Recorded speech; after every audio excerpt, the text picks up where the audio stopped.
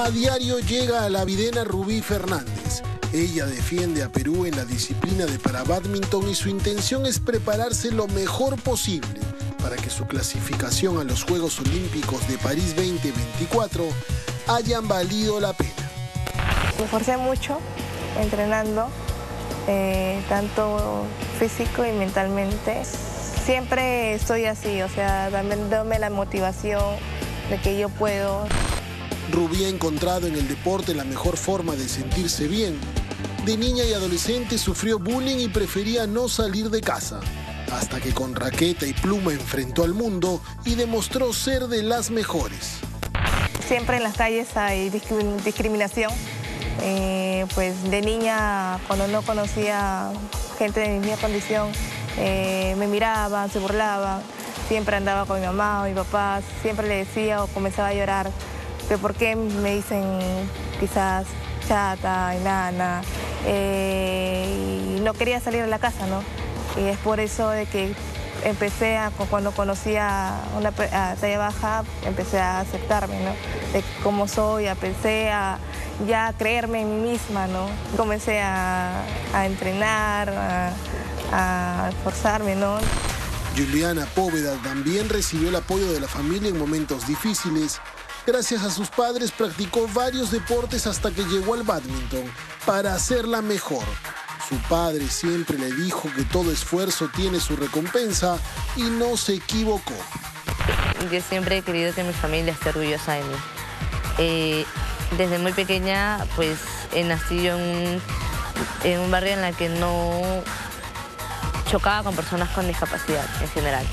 Entonces, para mí, yo siempre quería como que estar igual que ellos. En mi familia lo que hacía era no tratarme con indiferencia. Y el badminton también me hace creer de que puedo dar más en sí, de que nada es imposible, que si he roto como que las barreras de decir no, ellos no pueden hacer reportes, pues puedo cambiar los diferentes estereotipos que nos, que nos ponen, ¿no? A veces me emociona cuando hablo de él, porque este, siempre todos mis triunfos se los dedico a él.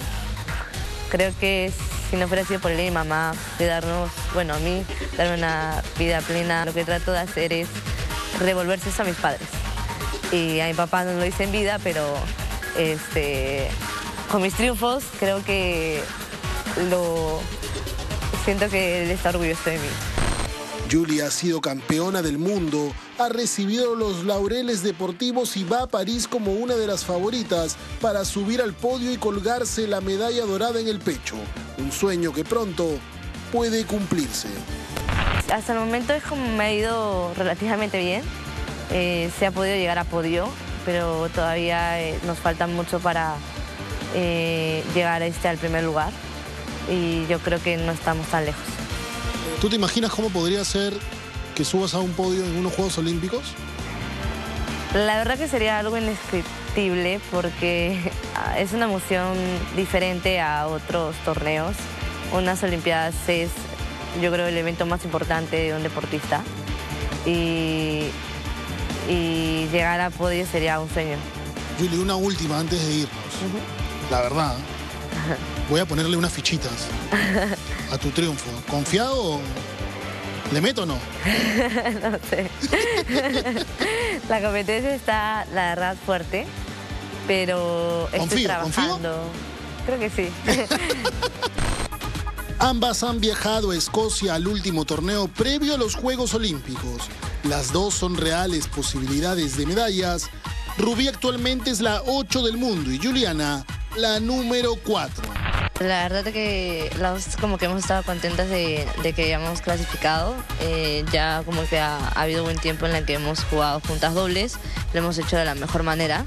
Y quizás ambas o una consiguen la medalla, ¿no? Los Juegos Paralímpicos de París se inician el 28 de agosto y duran 12 días. Nuestra delegación es muy luchadora y pondrán todas las fuerzas para conseguir la mayor cantidad de medallas posibles. Pero este par sí que se las puede traer. Capaz, ninguna llega a medalla o las dos llegamos a medalla, pero vamos a dar en sí todo lo que está a nuestro alcance para, para dejar en alto el Perú. ¡Arriba Perú!